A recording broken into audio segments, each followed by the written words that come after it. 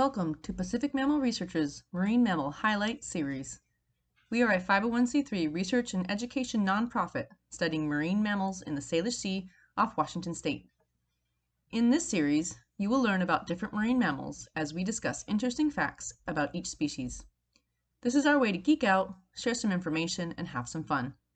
We hope you enjoy the series and be sure to follow us on Instagram to vote for which animal we talk about next. And without further ado, welcome to the PacMam podcast. I'm Cindy. And I'm Kat. And um, this week, uh, we once again um, messed up with you listeners. Uh, we asked you to choose, uh, and you chose the ring seal in a landslide. Um, however, I was do- I started doing the research and I was like, this looks really familiar. and I went back and like, we had done it last year. So we forgot to update our list where we decide what we did, what we've done, and and you know check it off. Um, so sorry about that. The best, the best thing though is that that means that you can in fact go back and listen to the ring seal. So mm-hmm. if you are interested in learning about the ring seal, go listen to our former episode on that.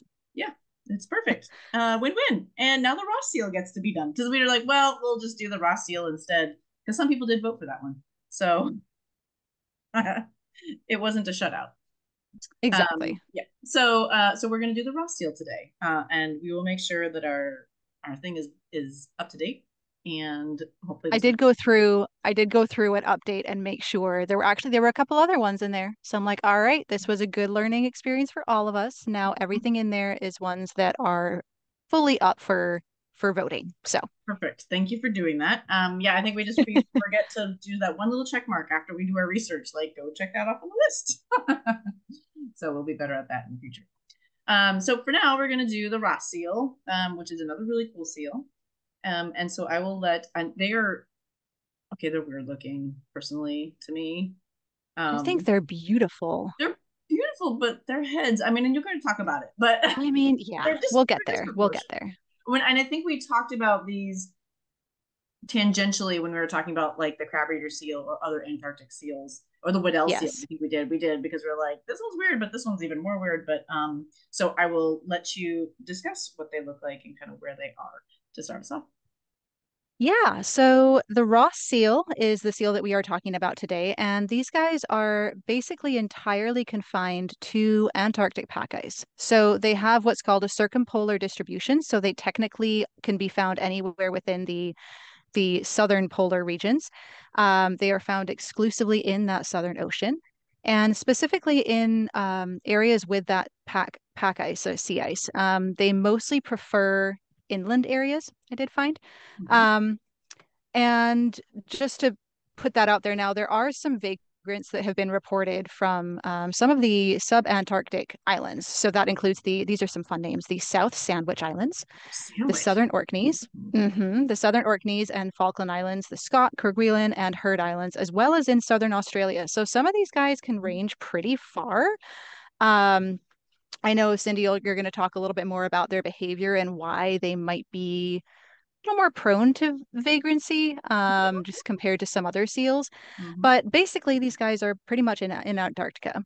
Um, they are this. I'm going to do the name now because it makes sense in terms of where they live. Um, can I bump in just just wait just a reminder yeah. people who say we were talking about pack ice. I oh, always oh, yeah, thank to, like, you. recheck my brain on that. So the pack ice is the stuff that's not fast ice, which is land fast is is connected to the to the land. So pack ice is just all the kind of big floating bergy bits and mm. and and stuff that are larger pieces of ice that are um, not stuck to land, but bigger. You can do things on. Yes, thank you for that because that is always helpful to remember what we're talking about in terms of context for these guys. So the Ross seal was first described by the Ross expedition in 1841. This was um, Commander James Ross, who was a British explorer who entered the Ross Sea, also named after him, um, during a period of exploration from 1839 to 1843. So that's kind of neat, but that's where they get their name from. And again, this is all kind of in and around that Antarctic area. Mm-hmm. So they are, again, you might imagine because of where they live, they are a fairly uh, understudied species. Um, I saw in pretty much all of the references that I looked up, they are basically the least well known of any of the Antarctic pinnipeds. Yeah, um, the rarest and the least studied and all the things. Mm-hmm. And again, like some of that does have to do with their behavior, which we'll get into in a little bit. But um, it would you'd be pretty lucky, I think, if you happen to see one of these guys, and if you happen to be in Antarctica in general, because that would be pretty amazing. um, so, in terms of what they look like, since we've already teased you, they are true seals. So that means that they don't have external ear flaps; they just have little holes, um, and that when they're on land, they have to basically just like scooch along on or on the ice. Um, they can't rotate their hips underneath, so they just kind of have to scooch along like a little worm. Mm-hmm. Um, they are one of the smallest uh, seal species. So they grow from about six and a half to seven and a half feet. The females are larger than males. And the weight range is pretty variable. They weigh from about 280 to 470 pounds. So a pretty big, Monkey. yeah, big weight range, which is interesting. Um, again, some of that does have to do with with size differences as well, but um, yeah, pretty big range in terms of weight. In mm-hmm. terms of what they look like coloration wise, I think they're really pretty. So they have a dark, kind of grayish brown color on top, and then have like a silvery colored belly. And they have these streak markings on their necks and throat, which are dark. So they have these like really cool, almost like paint strokes. Mm-hmm. Yeah, really interesting. Um, paint strokes on their kind of neck and throat, which um, quite a few of the sources said resembles a mask at times. So it can go up and onto the face as well, potentially. Um, it almost looks like they were a painting and it started to drip or they're like melting and it just like drips down their neck. I hadn't thought about that, but sure, it does. That's yeah. what I did. um, like, right. If you're watching this on YouTube, you will have a picture in front of you. But if you are not, I highly recommend going to check these guys out and Google Images because they're really, really unusual looking. Mm-hmm. Um, they don't have any rings like a lot of other seals do in terms of their markings. They really just have this kind of overall grayish color and then those darker streaks. They have fairly small, little narrow bodies. Um, and as Cindy mentioned, they do look pretty different to a lot of seal species. They have broad heads, big eyes, and tiny little mouths. So kind of like weird. Stubby snouts. Like they don't have a, it almost looks like they don't have it looks like somebody cut off their their face. like short. Which if you like if you think about in terms of where they live makes so much sense because anything that pokes out has a higher likelihood of freezing. Mm. So you kind of if you're living in these really really cold areas, you kind of want everything to be very compact and not have any like long limbs that are like you know, separate from anything else. Mm-hmm. So it kind of makes sense. Um, and they're they're big eyes. I will get back to you in just a second, but they have the shortest fur of any seal species. Uh, yeah, it doesn't even. I'm there you go. Now, yeah, and it doesn't even look like there's fur. It just looks like it's like yeah, there's nothing there. Just I know. And that was kind of like, wait, what? Because they live in Antarctica. You'd think they'd have more fur, but no, they just have a lot of blubber.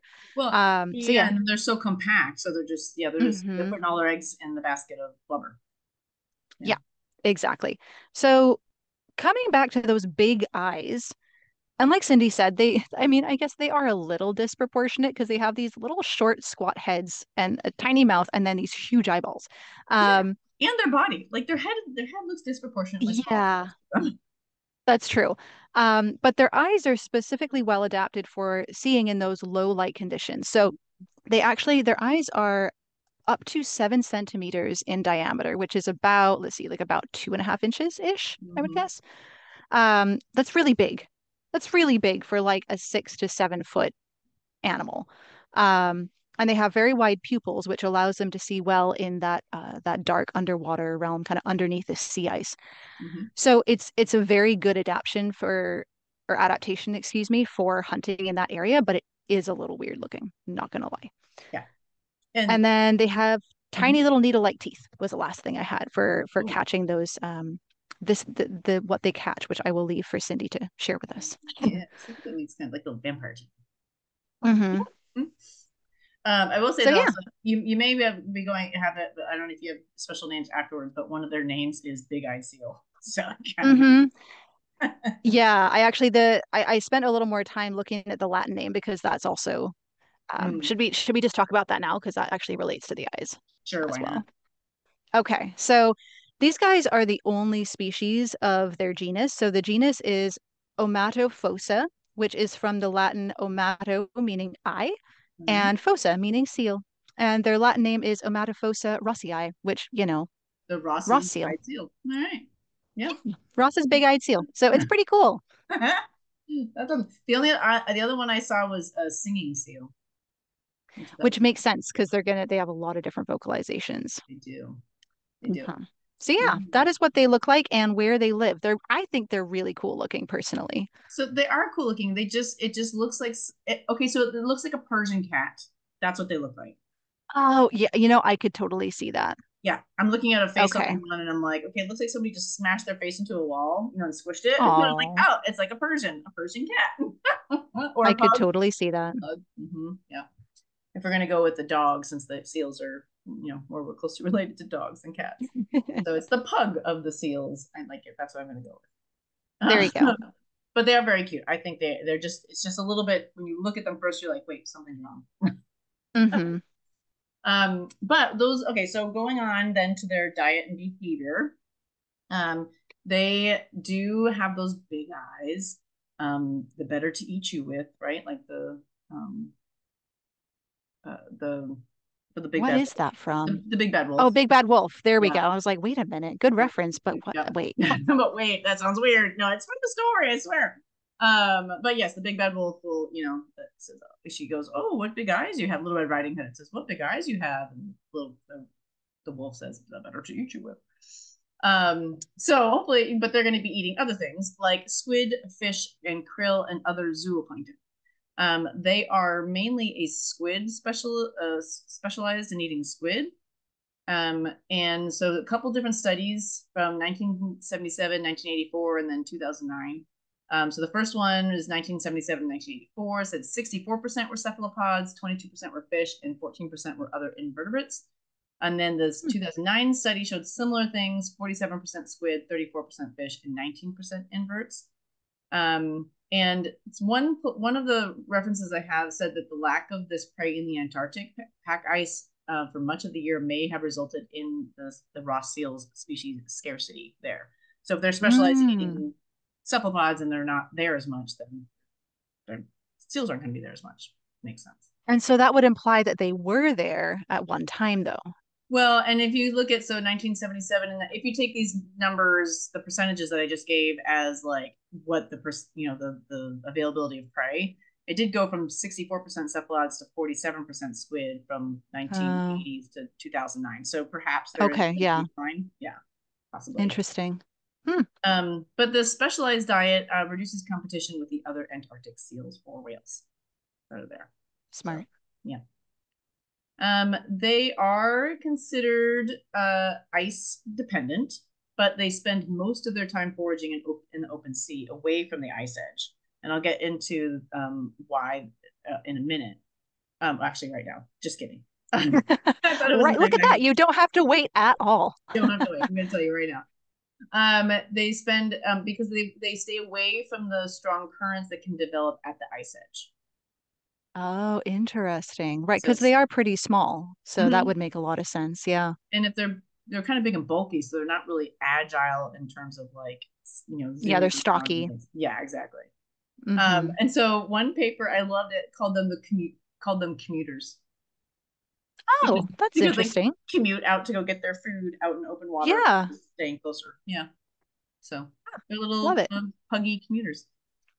um, so, but they, as you noted, they can travel far. There's some tagging studies have tracked them as far north as the Falkland or uh, islands in southern Australia. So there are these meanderers that are shifting out. Um, and who knows if that's a normal thing or a climate change thing? We don't know because we don't Mm. know much about these animals because they live in the Yeah. Antarctic. Spoiler alerts. Exactly. Um, so they um so they can feed at a few hundred meters, and I have where do I have their how far they can dive? Um, oh, you know what? I might have been in the new research. Um, I'll get to that then a little bit, but it's a couple hundred meters, and so that's fairly deep. Um, and so they they hypothesize that the large eyes may aid in the underwater vision at those darker Yeah. depths um, down there, which makes total sense. hmm Um, so that's basically what I have. I mean, again, we have very um uh, not super in-depth knowledge about most of the, the parts of their um, you know their diet and behavior and the things we're going to talk about just because they are what do i have up here? It was the smallest and rarest of the antarctic seals and the least studied. So Mm-hmm. we we know some cursory information. Um their behavior we know even less about um because they're hard to find and then hard to um, study but they do they're usually solitary uh, and this one they said uh, only 3 to 9% were seen in pairs. However and, and that's what you almost all of them say it's solitary animals um, but they may be more social than they appear because lone seals on the ice are often associated with diving seals beneath the surface of the ice and that was in a study in 1990 Interesting. yeah um, i mean you know harbor seals are also not supposed to be social or, or aggregate in open water but we found that they do here in the Salish sea so i think there's a Mm. lot of things we don't know about seals because of the way we study them and they usually are studied when they're hauled out on land and we don't know much about Yeah, and you forget that like a lot of their lifetime is lived beneath the water. So Exactly. who knows what they're doing under there? Yeah, interesting. exactly and they spend uh i think it's most of their time at sea i think it was something like nine months or something um actually i did have that in the, in the new research. There was surprisingly a large amount of new research. Oh, that's cool. yeah i wasn't expecting it. Um okay so but they they we do know they do not congregate in large breeding colonies uh, and that's pretty common with these with the, the ice seals. Um, they prefer larger and more concentrated ice located further in from the pack ice edge um, than that preferred by the leopard and crab eater seals, which are the other and um, other seals along with the Weddell seals that uh, are living down there. So that's what you Mhm. were saying. They like the inner parts better when they're on land. Yeah. yeah, they like to be Mhm. hiding out. Um, they may establish territories underwater through vocalizations, um, Mm. which that was interesting, and that's similar to other seals that vocalize underwater rather than on land, like harbor seals do. Mhm. Um, so that could be uh, quite interesting, uh, but, but we don't know too much more about that. Um, and what was interesting too is they they have they noted a couple times that they are um, they have little fear of humans, and that links to what you're going to talk about probably with predators, where they may have less of them than others. So it makes sense that they Mhm. might not be fearful of, of humans, um, which can be good and bad. Yeah, there aren't too many humans hanging around in Antarctica. So Exactly. Like, oh, in that sense, they probably thing. are like, oh, you're a weird looking critter. What are you? But like don't haven't had that experience in the past to know to be afraid of humans. Yeah, we're like the Sasquatches for them. Like, ooh, strange creature. What is that? um, and then they will uh molt um after their after their breeding time. So let me get into their breeding. Um, they breed and molt in areas of medium to dense pack ice south of the 60 degree latitude. So they like to be cold. Mhm. Um, live around 15 to 20 years, which is fairly normal for pinnipeds. Um, they're believed to reach sexual maturity at two to four for females and three or four for males. Again, which makes sense if you're living a shorter amount of time, you have to start having babies earlier in life. Um, Mhm. Pups are born in October or November. So remember, we're in the southern hemisphere, so that's the summer. Mhm. Coming into austral spring and summer. Yeah. exactly. Um, and so they have a gestation of nine months. Um, so they and um, so they the females breed in December. Um, it's not a, they haven't observed it, but they believe it to be in water like other Antarctic seals. And again, Mhm. if you're not congregating in big haulouts like some of the other seals and sea lions, then it's likely that you're having you're breeding in water. Um, and like other seals, they have an implantation that's likely delayed for a few months. So then the gestation is nine months. The pups are born in that October November window, um, and then they're nursed from around two to six weeks. So again, in the colder areas, it's usually a shorter um, fattening up time for the for the pups Mhm. uh, there. Uh, and then they molt uh, in December, January. So after they have given birth, a female's given birth, and then they mate again, and then they molt, and then they go out to sea for the rest of the year. That feels like a lot of energy expenditure at one time, I know, right? It's, I mean, where it's like, okay, everything gets crammed into their summertime. Like, Yeah. wow. But then, you know, you're spending, it's like the opposite of uh, being a teacher. Everything gets crammed into summer, and you have nine months to just go hang out in the ocean and not get eaten by something else. That's, you know, that's fair. That's Yeah. fair. it's a different uh, inversion. Um, but that's in. So they're mainly um, the uh, uh, they mainly just hang out in the water for most of the year and then come out and do all their stuff. Um, but that's pretty all we know. Probably solitary, um, but we don't know much more than that. Hmm. And that's again where again, as Cindy was saying, because of that solitary nature, they it's it's possible that there are more individuals who would tend toward that kind of vagrant behavior, right? Where it's like if they're just kind of out by themselves anyway, it's like, oh, let me explore over here, or let me explore over here. So right. um, that kind of makes sense since they don't rely on these large congregations like some other seal species do. They might be able to wander farther afield. Yeah, they'd be like, yeah, I'm just gonna check out that area or not. Yeah, depending on the individual. Explore. Yeah. Maybe mm-hmm. they're cool. more like harbor seals where there's individual a large amount of individual variation. Yeah, true. Who knows? Um, okay, well, that is what we have for their um, geographic distribution, what they look like, their diet and behavior. So we will take a quick break and be back with the threats and um, population status and the, some of the new research that we uh, were able to find. So we will be right back.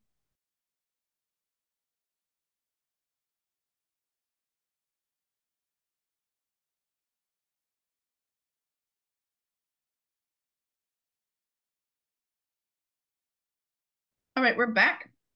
So Kat's gonna um actually I think there's I think I don't think your section is gonna be as depressing as it is for other for other no, I like guys. it. Yeah. I like it a lot. Okay, so let's talk about it. So um according to the Society of Marine Mammalogy, the total population of Ross seals is estimated at about 130,000 which seems pretty solid, right? Given that they only live in this one little small area. It's like, all right, that's a pretty healthy population. However, there is a massive amount of uncertainty to that number. Plus or minus 170,000? pretty much. I mean, it's, it's, uh, yeah, I think it was like, you know, the, the lowest confidence interval was like 20,000 and the highest was like 280,000. So like, yeah. there's a lot of variation that they, again, because of where they live, we simply don't know. Yeah. The most recent count that they did in Antarctica was 78,000 individuals. Mm. So that's not too far off, right? That that 130,000 mark. So again, that's that's kind of I, I think the 130 number is is kind of assuming, you know, X number of animals that weren't visible at the time, et cetera. Okay. Um, so it's kind of interesting because they are they are listed as a species of least concern. They are thought to have fairly healthy population or populations down there um, which I just find really fascinating, given that we don't really know a lot about them. Mm-hmm. That basically, like, no, they're fine. Like, yeah. oh, okay. Yeah, they shouldn't so, be concerned when we don't have the information that we need to know that they're least concerned. Right. I think that's kind of what I thought was interesting. So again, yeah. and that might have been, you know, me missing some things, but I mean, from what I could tell, pretty much everything is like there's no sign of decline there's no sign mm-hmm. of massive drastic loss from those who are studying them mm-hmm. so they think it's a fairly stable population and it's again probably conservatively probably around about that 100,000 individual mark um, as I said, they are listed as a species of least concern, um, and all Antarctic seals, including the Ross seal, as well as the crab eater, leopard, Weddell, uh, Weddell seals, and the southern elephant seals and Antarctic fur seals, are protected by the Convention for Conservation of Antarctic Seals. So that is a specific act that is um, in in place to protect those specific species, which is pretty cool. Mm-hmm. So basically, we think they're doing okay, and as Cindy said, some of that might be due to the fact that, again, from what we know, they don't have a ton of threats, which is again nice to not have a really extensive threat section. Um, the largest one, as you might imagine, is climate change. So, of course, because they are dependent on that pack ice and that sea ice, um, it does make them at much higher risk of population shift and decline from climate change. So, this could have significant negative implications for their reproduction, um, as well as for their foraging success. And again, just increasing sea temperatures in general are going to also then shift their prey and where, what prey they're able to access, and all of those things have a knock on impact on the life history and health of those animals. And so, a paper on looking at that and what what what the warming ocean might do to these guys. So that'll be a good. Oh, interesting. Good, okay, yeah. yeah, I was hoping there would be some new research on that. Mm-hmm. Fantastic. Mm-hmm.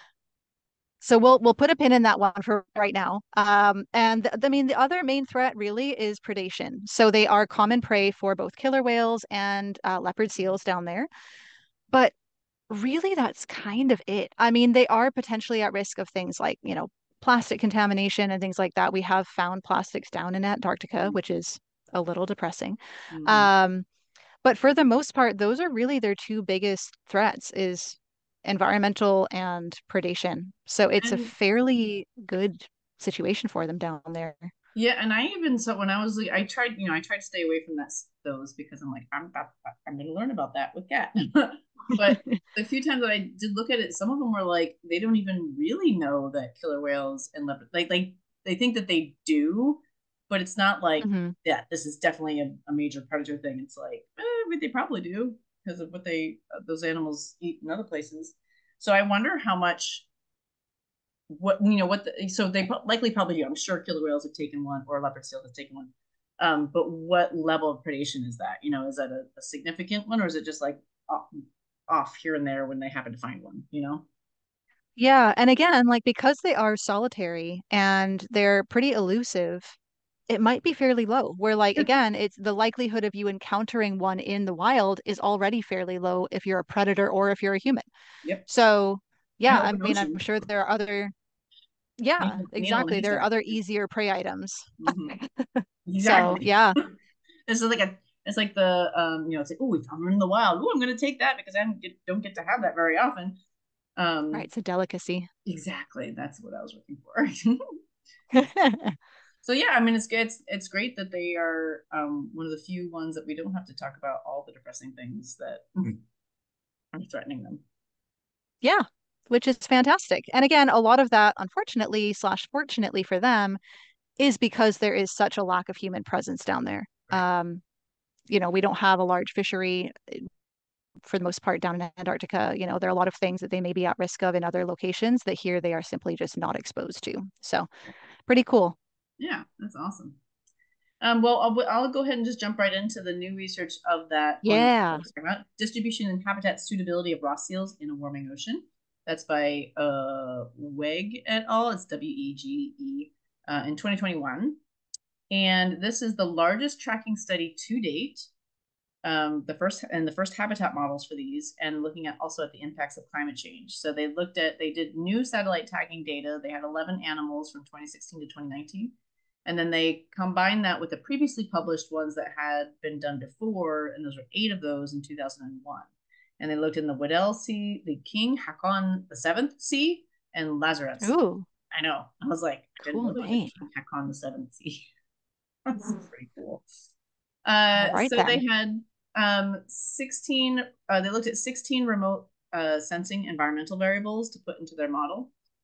Um, and they found that they preferred to forage in waters that were negative one to two degrees Celsius, where the mixed layer depth was shallower in summer and deeper in winter, um, and where current speeds were slower. So we already mentioned that they were probably not around the pack ice because of the, the currents. Um, and then away from the ice edge in the open ocean, which everybody already knew. Um, the receding ice edge and the shoaling of the mixed layer, um, I think the densities of the water and stuff, um, created by climate change may reduce the swimming distances and diving depths, therefore reducing forage costs.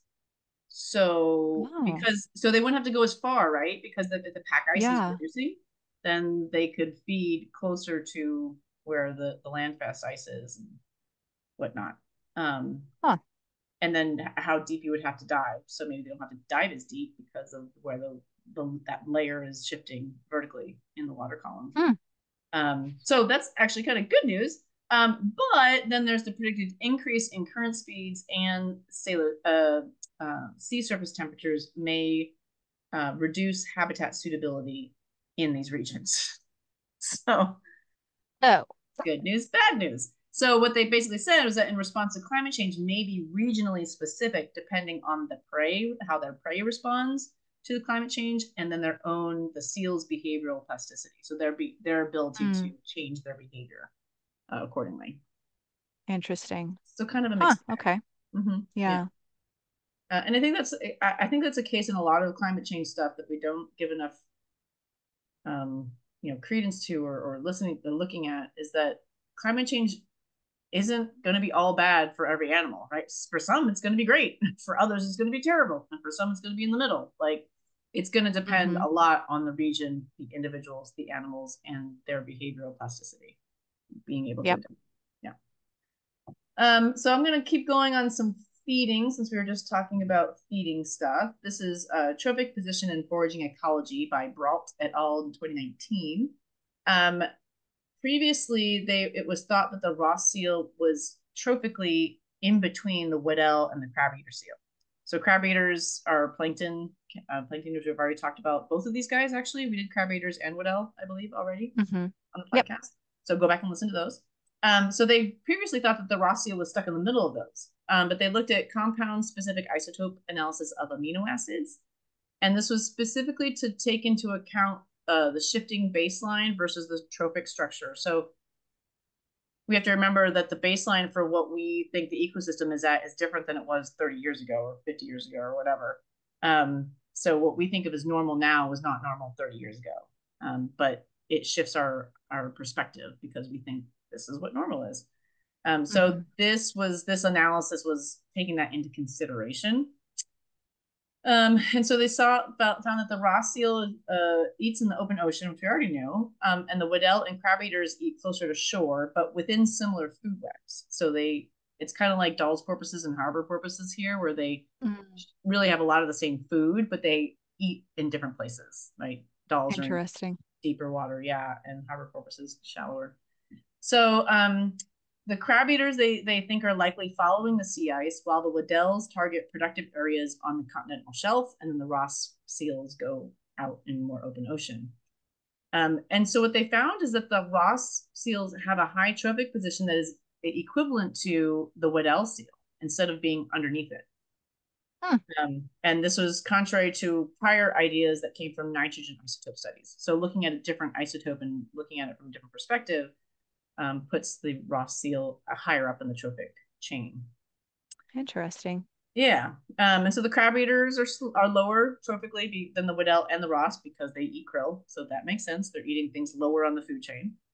Mm-hmm. Um, and I like the ending uh, to the abstract. I think this is from um, quote: "Our results redefine the view of the trophic dynamics and foraging ecology of the Ross seal, and also highlight the importance of quantifying baseline isotope variations in foraging studies."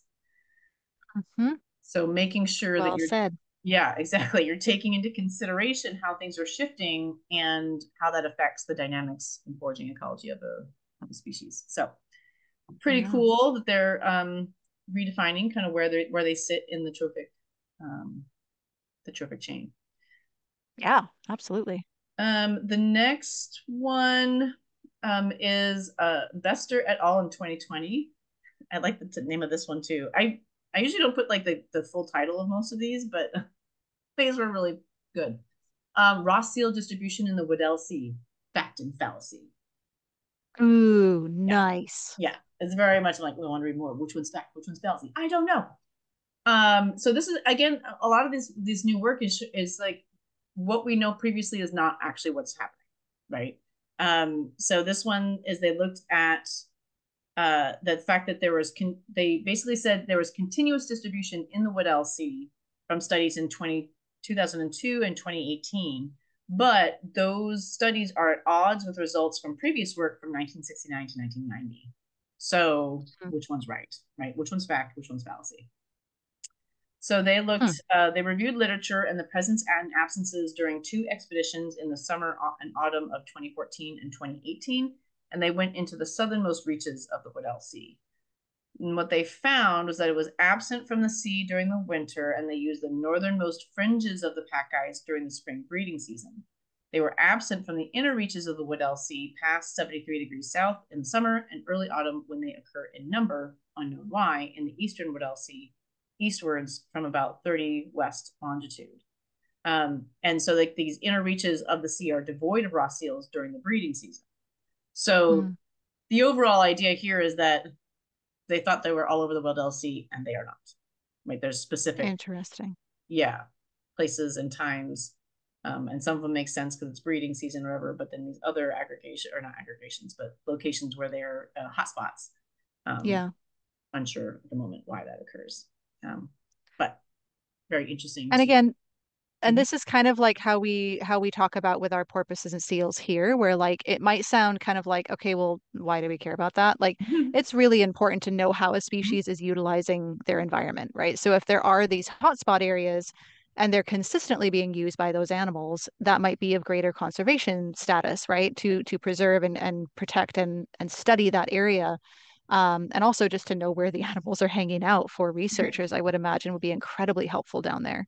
Well, and then modeling the climate change, right? You, if you're Yeah. modeling that certain areas are going to be harder hit by climate change, well, that's important to know if that's where the, the seals are or not. You know? Yeah, absolutely. Very cool. Yeah. So really interesting. So really kind of figuring better figuring out where these guys are um, in the in the Weddell Sea and the other places in Antarctica. Uh, this next one, I'm going to do. The, I'm going to leave the, this other one for last. Um, this one is Loza et al. 2017. This is the sensory anatomy of the most aquatic seal.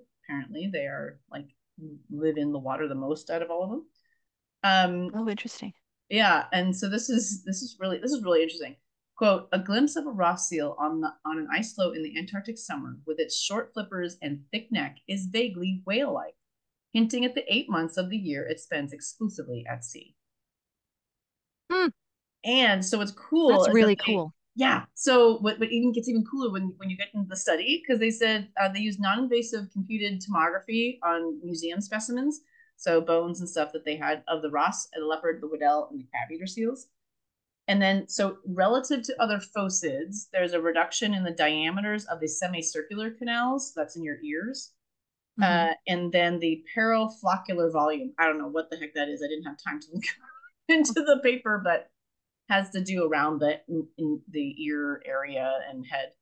Um, and that's independent of size effects. So relative, no matter what, basically they have smaller semicircular canals and this this floccular volume. Um, and so now we're going to go back to the whale-like thing. So these parallel the changes that, that you see in cetaceans in those structures. Cool. Yeah, so they're like kind of like whale-like, but they do not extend to other features such as the reduction in eye muscles and length of neck in cetaceans, right? So, Mm. um, and they certainly, you know, probably have more eye muscles since they have giant eyes. uh, Right. So what what they're saying is this emphasizes the independence of some traits in convergent evolution. So there were some things they're like everybody should have this if they're more aquatic, but these other parts don't have to be linked to that, depending on what they do. Also thinking about that short fur now, where it's Mhm. like that's a Mhm. lot less resistant to swimming. Yep. It looks kind of Less like, friction. Kind of look more rubbery, like a cetacean. Oh, that's so Right? cool. They're like the link between. I wasn't gonna say it. I wasn't gonna say it, but now you said it. So said yeah, it. that's what I was thinking. They're the missing link between cetaceans and pinnipeds. Not really, don't quote us on that. No, but no, no. But um that's not scientifically factual. However, not at all. cool to cool to think about though. Just right saying. but it, yeah it shows how things can converge and i mean it's like bats having wings and and birds having wings but some swim some fly and they they're both doing it for a certain purpose but they look very different right yeah, that's a good analogy. Yeah. yeah so they have these How things that, like certain cool. yeah certain traits are really good for this specific thing if you're more aquatic but depending on on what else you do the other parts don't have to go along with it so very interesting That's awesome. Yeah. So we're gonna uh, leave um, one one more, and we're gonna. I like to save this one for last because it was uh, again Wege et al. W E G E, uh, 2023, the nightlife of a Ross seal. Oh my gosh, I'm hooked. Right? What is it? What do they do? Oh, these titles are amazing. They're so good. Um, I was I was pleasantly surprised. Uh, so they had they did biologgers that recorded the dive behavior. Um, they had five of those and or haul out behavior. They had nine of those in eastern the Eastern Weddell Sea from 2016 to 2019. So the dive profile, as I was mentioning before, uh, you know, they you know, 100, few hundred meters deep. So it's one mostly we're 100 to 200 meters deep, but often more than 300 meters. So they're going almost 900 feet, almost a thousand feet below. So you need those big eyes to be able to see down there. Um, they can go for five to 12 minutes and often over 20 minutes for their dive. Um, in March through the July, they um, that's when they were mainly doing pelagic foraging, so out in that open ocean. Uh, the metrics varied diurnally, so they had like a day-night difference. Um, they were deeper, the dives were deeper during twilight and shallowest at night, which I think would make sense that they don't want to be down too deep where they can't see anything where predators might be. Um, well, and I'm also wondering if that has to do with the prey moving up. Mm-hmm. Oh, that's at true. night yep. too, which Mhm. often happens, right? The that kind of diurnal switch with the prey moving up to the surface layers or the upper layers of the water at nighttime. Um, so yeah, that would be sorry, I just got distracted by a bird eating one of my raspberries. window. Sorry, I have a garden outside and there's a robin eating my raspberry. Um, yeah, so that makes total sense, right? They're following their prey. Um, and then uh and then going deeper during twilight what also um and then they follow it back up at night. Um, the number of dives and the duration did not have a pattern for day night. So Okay. they did whatever. Um, and the diving effort was highest at night. So they do seem to be, and again, that would make sense if they're doing deep scattering layers coming up. Um, they can forage Yeah. more efficiently and having not having to dive as deep. Um, at, at And especially if they are foraging more on like cephalopods, those are often more active at nighttime as well. So that would make a lot of sense. Yep, exactly. It all makes sense. Um, so then they um, preferentially hauled out in the middle of the day during September, October, February, and December, but not the rest of the year. And I find it really strange that is the order that they gave in the in the paper: September, October, February, and December. I don't I don't understand why they didn't do it in order. Probably because that was the proportion. So they probably hauled out more Oh. in September, October, and then slightly less than that in February and January and, and December December. would be my guess. Interesting. But December's when they're well, maybe December's when they're mating, so then they go back in February because they're I don't know. Anyway, Good questions. seals are doing what they're doing. Um, but that probably makes sense that it's the the level of, of how how much they are for each of those months. Um, but it basically so that kind of September, like the that's what spring and Spring. summer there. hmm Yeah. Yeah. Um, so that makes sense that they'd go out in the middle of the day. Um, then interestingly, the female, there were three females that they had during breeding season, and they hauled out continuously for five to seven days. So they're on land for five to seven days with water entries going back into the water one to three hours during and or after the continuous haul outs. So they'll stay on land for quite a few days and then go out for about and then come back. Um, and this was interesting because it may suggest that the Ross seals are this intermediate between the capital and the facultative income breeding. So the ones that basically Mm. just haul out the whole time and just don't eat for however long, weeks to a month, um, versus those that stay on land for a few days, then go or, or, or even a few hours, then go out and eat and then come back and go back and eat and go back and forth. hmm So these are kind of like in the middle. They do a big chunk, but then they still go out and feed. They don't fast the entire time that they're Interesting. so Okay. they're they're kind of like the the bridges for a lot of things, Yeah, it's really interesting. kind of in the middle. Um, so that's uh, that's all I have for uh, the nightlife of the Ross seal, who is the also the most aquatic seal, and um, and yeah, they're very interesting guys. And and so it was interesting again that I really thought there wasn't going to be much new research on these guys because it's been so Yeah. sparse. But I actually had to stop. I'm like, all right, I, I can't talk more than about five articles. There's a few other things.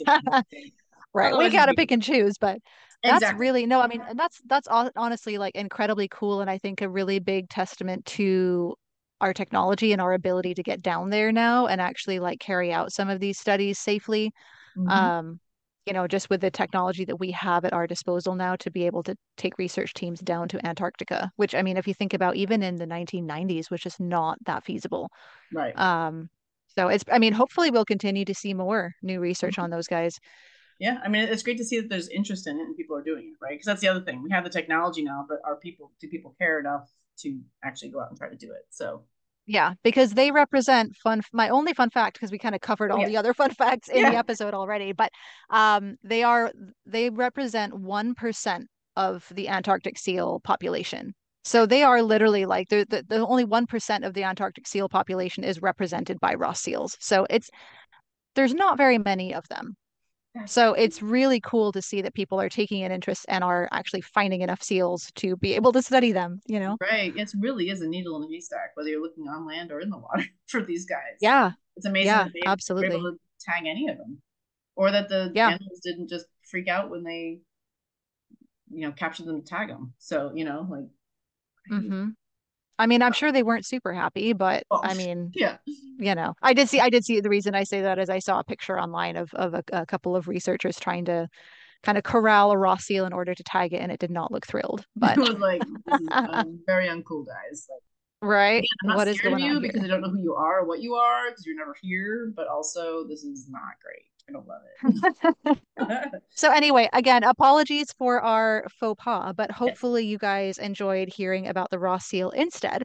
Mm. And again, if you want to go listen back to our ring seal episode, please do so. We covered that one already for you. So Yeah. it's kind of like a two for one deal, honestly, this this week. So, you know, And you can go back and, and listen to the crab eater and the um Weddell seal because we also covered those. So like yeah, do an Antarctic seal binge of all of those go. episodes and just like, yeah, that's a great idea. love it. Um so I one percent just is still boggling to me. I mean now it really makes Isn't that wild? It's just crazy. Um Mhm. anyway, they're super cool. Our little pug friend, um pug or Persian, depending on if you like cats or dogs, uh version of the seal, the Ross seal.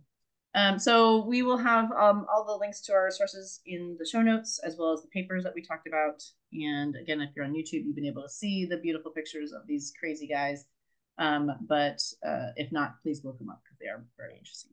Um, we again um, will make sure to check out our website and Facebook and Instagram and our merch store. We will be hopefully having some new stuff soon as we're getting closer to our one year, uh, 10 year anniversary in October. Um, and so keep an eye on on our socials and stuff for that for updates to logo to our hopefully our logo and have some more designs as we're excited to celebrate that. Um, we also will be starting uh, very soon on Facebook uh, a fundraiser for our new engine for the boat that we got, and we're hoping to. We're actually it's getting worked on right now, so we're raising funds to be able to cover the costs of being of putting a new engine on a boat, which is if you have a boat, you know, it's not cheap. Uh, so your support for that would be amazing to be able to get us back up on the water and being able to get out and get more information on the harbor seals and harbor porpoises that we study here. Um, and keep an eye out for our um, just our stuff, our pictures. will say I will say one last thing. We are going to have a little bit of a longer Yes. break between our next this one and our next episode. Cindy's going to be away for a couple weeks. Um, so we will be back in probably about three weeks versus two Yeah. weeks. Um, Yeah. so you know, again, plenty of time for you to go back and listen to some Antarctic seal information. Exactly. Um, I will be out. We'll just pretend uh, that this was all totally in, on plan. right exactly everything was planned um yes and i will be out um in the bahamas with my old um where i used to work in the uh, with spotted dolphins so i'll hopefully have some fun stories to share with everybody when i get back uh, as long as no hurricanes come and do anything weird over there during hurricane season weather stay calm um, so with that, then we will be back in about three-ish weeks instead of two weeks, and will likely be a um, a journal review. Uh, or if you want us to talk about something, please let us know. Um, again, reach out on social media and uh, and or email us. We'd love to hear from you about what you would like to um, to have us talk about. Um, and you can always support us on our um, the podcast um, to uh, be a paid subscriber. Uh, and any other donations go straight back into our research and helping us be able to do this work. So, with that, and my dog barking in the background, we will talk to you next time. Bye. Bye.